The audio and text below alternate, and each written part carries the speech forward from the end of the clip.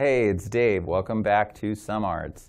It's the end of summer. Sorry to say it, but we got one more awesome month, and that is September. So let's see what's in store. Honk. Just kidding. Honk's in October. But Somerville's premier festival of activity and community street brass bands from all the world is fast approaching. Get on out to Aeronaut Brewing Company on Friday, September 7th from 8 p.m. to midnight and help support this amazing festival with an evening of music, dance, beer, friendship, and community. Admission is free. They'll be accepting donations for, throughout the night, and kids and young adults are welcome. Persons under 21 are permitted as long as they have parental guardian accompaniment. At 8 p.m., the founders of Honkfest, the Second Line a Social Aid and Pleasure Society Brass Band will go on. A raucous, stomp your foot and belt out the chorus, New Orleans style activist street band. And at 10 p.m., hear your friendly neighborhood purple clad punk street brass wrecking crew from Lowell, the party band. Honkfest is October 5th through 7th. More info about that is at honkfest.org. More info about this fundraising event is at Aeronaut Brewery yeah, aeronautbrewingco.com. The Somerville Bicycle Committee meets on the first Thursday of the month from 6.30 to 8 p.m. in the Academy Room of the Somerville Police Station on Washington Street in Union Square. The next two meetings are on September 6th and then on October 4th. Meetings are open to the public and volunteers and help are always welcome. The committee works to improve conditions for bicyclists in the city of Somerville promote bicycling as a means of transportation, improve safety conditions for bicyclists, and to help implement policy, programs, and bike routes for all ages. There are also team meetings. You can find out more information about those or sign up for their newsletter at somervillebikes.org. The Somerville Rock and Roll Yard Sale returns to the Boston area, Union Square Plaza in Somerville, right there on Sunday, September 9th, with vendors from all over New England selling a fun mix of records, vintage, DIY, handmade goods from 11 a.m. to 5 p.m. Admission is free, vendor space is sold out, sorry, and there will be local live music from Sleepyhead and Tia Hopkins and Cotton Candy plus DJ Patrick Neil Bryant from WMBR will be spinning vinyl all afternoon. This event is organized and promoted by What Cheer Records and Vintage and the Providence Rock and Roll Yard Sale with help from the Somerville Arts Council as part of their Arts Union programming. We love the Somerville Arts Council. What the Fluff takes place September 22nd, and I had a chance to speak with Jessica Eshelman from Union Square Main Streets about this annual confectionery celebration. Here's what she had to say about it. I'm here with Jessica Eshelman from Union Square Main Streets, and it's that time of year where we got to talk about all things fluff. the What the Fluff Festival is coming back to Union Square on September 22nd. This is your first year organizing this uh, behemoth festival. How's that going? Well, I have to say, um, it's such an honor to carry forward this festival, which is uh, the brainchild of Mimi Graney, and she was the first executive director of Union Square Main Streets. This is the 13th annual festival. Uh, so we've done this once or twice as an organization, and I've got to give a big shout out to our planning team, the fabulous Fluff team, who has brought their experience and expertise to the process. So while I'm new, it's not new to our group or to the volunteers who help make it happen. We're having a ton of fun with the theme. So this being the 13th annual, we're really playing up Fluff the 13th as a theme, we're encouraging entertainers and participants to interpret how they might like to. Mm-hmm.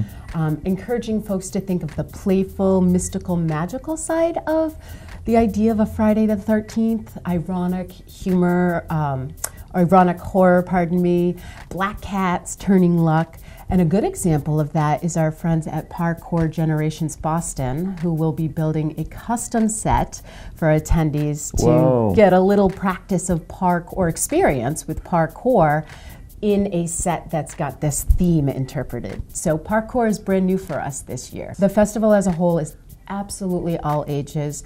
There are activities designed for young ones who might like to play games like fluff bowling mm. or pin the F on the fluff boy. uh, for those who would be returning to the festival, they're likely to be familiar with the Midway games. We set this up on Sanborn Court where mm-hmm. Bronwyn Restaurant is, and it doesn't cost anything for kids to play. Um, think like old time boardwalk games. That's sort of the feel of it all. Um, and as the kids play, they win tickets that they can redeem for prizes. And so it's a real great exercise in having some fun and then figuring out how to allocate your tickets to walk away with something that you've earned by playing some games. Oh, that is fun. Yeah. And then that all ages theme kind of goes throughout. Um, the cooking contest is coming back, and we have four different categories for folks to be awarded the winner. One is Best Future Chef for chefs 13 and younger. Hmm. Um, but then the other categories typically appeal to maybe more experienced chefs. Um, dancing this year, we have uh, the return of Invention Alley coming back. Hmm. So, Invention Alley was new last year, and that is a partnership between Somerville High School's robotics team and Artisans Asylum. Um, last year, the robotics team had built a robot who could throw marshmallows, and the goal was to catch them as a participant, a festival goer. Um, and then the Artisan Asylum folks, they each station will have something different. So it might be laser cutting, it might be printmaking. It's really an opportunity for those innovators and artisans to come out and connect uh, in whatever way feels appropriate for their their expertise and their interests, mm. tying in fluff or fluff the 13th all, the, all along. Very nice. Mm-hmm. And you, we had talked beforehand about um, an additional stage actually two new two additional stages two additional stages so what what's going to appear on those stages so the first one that I'll mention is going to be hosted by Bow Market. Mm-hmm. Bow Market is on Somerville Ave. Um, and many of us who are in the square are very familiar with it by now, but we recognize that many people are experiencing it for the first time. Uh, Bow Market has, of course, will have 30 micro uh, enterprises, uh, little shops of people starting out different businesses. And they have this beautiful courtyard in the center. So mm-hmm. it's a natural place for performances. So we've named this a Nutter stage. Got to play with the theme. And I understand that they've just confirmed a jug band. So there's going to be some real interesting music that's happening there. They're also working uh, with some street teams to draw some connectivity from the main festival area, which will be along the plaza, into the Bow Market area and some of the other businesses that are hosting programs on Bow Street. Oh, that's great, kind of activating the entire Union Square for the festival. You're onto it. Union Square Main Streets really saw an opportunity to draw the energy of 20,000 people further into the district and really showcase the diversity of the businesses that are here. When I started this uh, job, the previous executive director, Esther, had said to me, Jess, you, you don't need to try to get more people to fluff. It's almost too crowded. Mm and that was an opportunity. Yeah. It was an opportunity. We can't quite close all the streets down just the way the traffic needs to move at this point in time, but we can partner with groups like Bow Market um, to put more programming where folks can get out of this uh, plaza area but still have a fluff experience. So a couple of the other businesses who jumped on this opportunity, Celeste, the new Peruvian restaurant, well, opened in March, newer Peruvian restaurant, they're teaming up with the neighborhood restaurant. Oh, really? And there'll be a salsa dance lesson and then party on the patio of the neighborhood restaurant. Uh, Block Cafe mm-hmm. will be hosting uh, family friendly, folk oriented music as well. And um, we've got a few more that we're finalizing now, but the idea is you can enjoy the main stage here at the Plaza, Invention Alley, the Midway Games, parkour, and then when you're ready to try some other things, you can just explore more of Union Square. That sounds like a really great way to um, just bring all the local businesses together you know where Stone Ave is because you're in the square every day. This is where uh, Minero Brazilian Market on the corner is, is across from Grace's hair salon, mm-hmm. just to orient everybody just at home. Right over there. we are activating a fourth performance area. So we have the main stage, uh, which we have some great acts on this year. The return of the Shenanigans stage, which I have not yet mentioned, which will be in the parking lot near Cantina, the municipal parking lot right next to your building. Mm-hmm. And that's where Fluff Hairdos happens, Fluff musical chairs happens, and all other kinds of zany, crazy, you're gonna need a shower and to do your laundry after fun. Um, I told you about another stage, that's our third. And the fourth is the Stone Ave stage. Mm. and we're very excited to be featuring participatory hand drumming.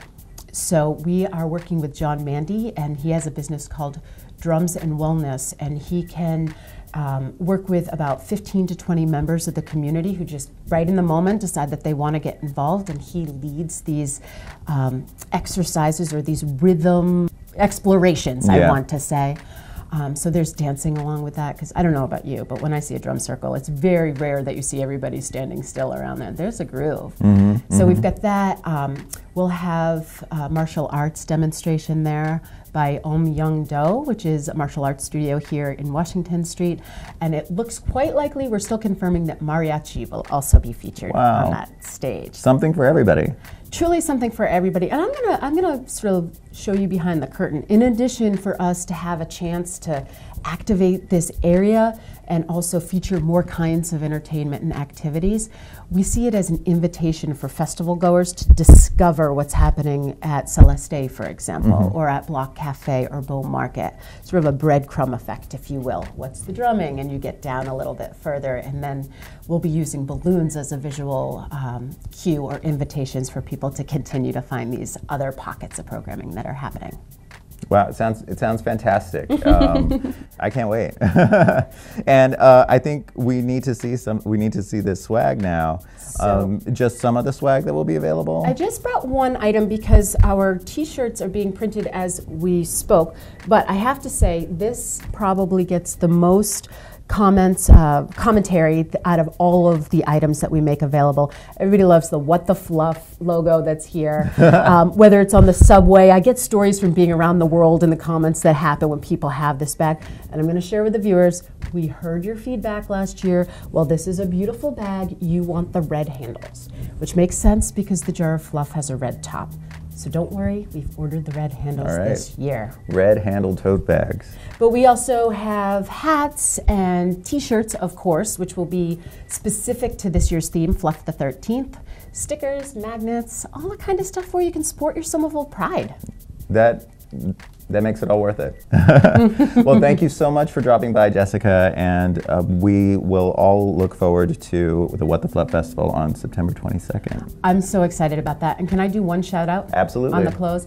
Um, I have to say a huge thanks to Allstate Insurance, which many of you watching might be familiar or more commonly referred to as Brazil Insurance, because they've been here in Union Square for more than 30 years. Recently became part of the Allstate family, and they're a presenting sponsor this year. So their support is making this growth and the expansion of the program possible. So just wanted to say thanks so much, Allstate, and we're so excited to be celebrating innovation um, of Marshmallow Fluff here in Union Square. All right, thank you. Thanks. The Somerville Public Library's exhibition for September celebrates Hispanic Heritage Month. I had a chance to speak with Julie Walker from SPL about this exhibit. I'm now here with Julie Walker from the Somerville Public Library. Welcome. Thanks. Hi, everybody. And we're here to talk about the latest exhibition that's going up at the Central Somerville Library uh, starting September 9th and going all the way through uh, October 7th to celebrate Latino Heritage Month. Um, it's a collaboration between SPL and a number of other organizations, including the Welcome Project mm-hmm. and the Somerville Latino Association. Um, so how, how many artists are involved? Um, there are four artists involved, and we're really excited to have them. Um, we do have some stained glass and some multimedia artists, and I think also some painters. Okay. So res- our reception for the show is on September 9th. It's a Sunday at 2.30. There will be refreshments, and we hope you can make it. It's open to everybody.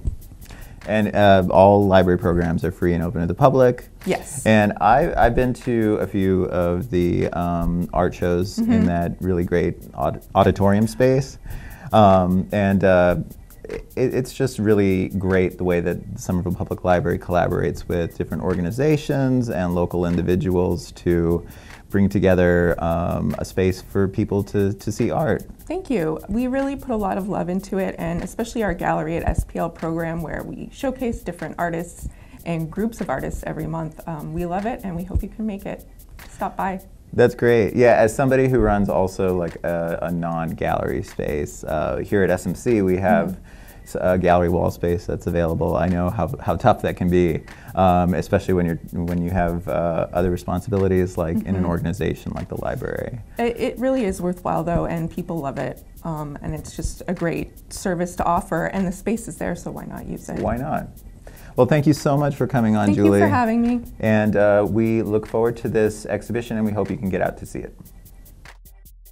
I'm here with Lee Kilpatrick and Dennis Stein, and we are here to talk about the Toy Camera Festival that is happening in a number of places, including uh, some Somerville venues. Um, so I want to start off asking you, Lee, what, what's a toy camera? Well, so um, if you see here, here's a camera. Um, a camera is basically a sealed box that has a few elements like a lens. Um, it's sealed up so you only get the image through the lens lens helps focus, and then there's ideas, there's various ways you expose it properly or not. Um, a toy camera is has all those elements, but it's a terrible, terrible version. like in many, wow. in some terrible. cases, the lens is not very sharp. In other cases, you don't have any control over the exposure, and then you could also have leaking in the back. In fact, you can see this one has a lot of tape on it in order to prevent light leaking. But the reason you might want that is because you get um, very interesting effects from all those limitations. Um, um, people, uh, you get like a moody, usually a moody type of effect. Also, people are interested in like the randomness of it too. Um, but um, Dennis, do you have a, anything to add on that? It's very um, serendipitous mm. in terms of what you get and what it surprises you all the time. I started to use these in the 80s, late 80s, and I was just amazed by the, the results of that. I mean, it's just ethereal, surreal, very just, you know, something so, totally different from your, from like hardcore, a digital, yeah, yeah right, right, right. film, yeah, even like all film cameras too, just so different. You know, some people use film because they want to slow it down and not get the digital look, but this is like more extreme. Mm. Uh, so it's taking it's taking the qualities of an analog technology and yeah using the limitations uh, to uh, to make aesthetically you know pleasing mm-hmm. images. Right. In, in, many cases, it's not just like analog, but like a scratchy recording, mm-hmm. like that type of thing. Like oh, you have right. a record, an old record that's been a little beat up. So. So let's talk about the the festival. Um, what? How long has it been going on? This is the sixth year. It started in 2013. Uh, yes, and um, the, uh, it's the Somerville Toy Camera Festival. It takes place at several venues. Uh, usually the nave, the nave is the nave is always involved. Washington Street is always involved. Brick Bottom is almost always involved. There was one year they couldn't make it, but they but Bonnie still like is involved in organizing it, even when the Brick Bottom Gallery was not available. Um, we have a show there in each of those venues for about a month. Mm-hmm. Uh, a little longer in Brick Bottom. The openings are happening on the weekend of the 8th and 9th of September. Okay. Um, so um, this year we have 70, about 70 artists that wow. have work accepted into it. Um, there's a variety of cameras they use. Um, the Holga here, this is the um, this is in like used by like half the work in half the work. This is a Diana that's in the six like a one sixth of the photos. Uh, then there's brownies like this that are uh, several of those are used in like pinhole cameras and all sorts of different things. I remember the brownies. Yeah, yeah.